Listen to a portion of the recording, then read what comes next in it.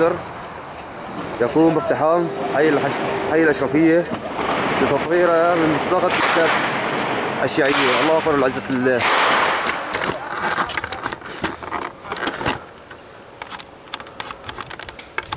Thank you.